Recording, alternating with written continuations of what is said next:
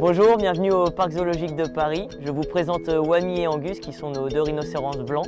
Ils ont 10 ans et vont sur leurs 11 ans et font 2 tonnes 5. Allez Angus, cible L'entraînement médical permet de désensibiliser euh, l'animal à coopérer pour la réalisation de soins quotidiens et vétérinaires de manière euh, positive. Pour cela, on entraîne l'animal à exécuter des gestes ou au contraire à rester immobile pendant qu'on lui applique des soins. Recule. Reste. On reste. Les rhinocéros, c'est des animaux qui peuvent avoir des problèmes de peau, mais aussi de fissures au niveau des ongles.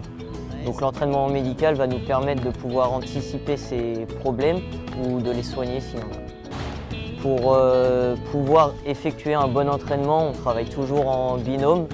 On va avoir un premier soigneur qui va être euh, l'entraîneur, donc qui va lui principalement lui demander de réaliser des, des gestes ou de rester immobile.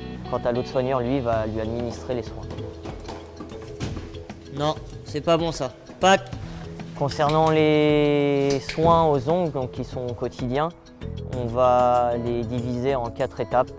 Dans un premier temps, avec euh, de l'eau, on va nettoyer l'ongle afin de travailler sur une surface propre. Ensuite, avec encore de l'ibutane qu'on dilue à l'eau, on va pouvoir cicatriser les fissures et les désinfecter. Enfin, on va donc appliquer de l'huile qui va nous permettre de reformer l'ongle et se restructurer. Et on va finir par l'argile qui va faire office de pansement. Le but final de l'entraînement médical est de pouvoir réaliser de vrais examens médicaux, notamment la prise de sang, qui nous permet à nous de faire des analyses sur le sang ou aussi de pouvoir mesurer le taux de testostérone.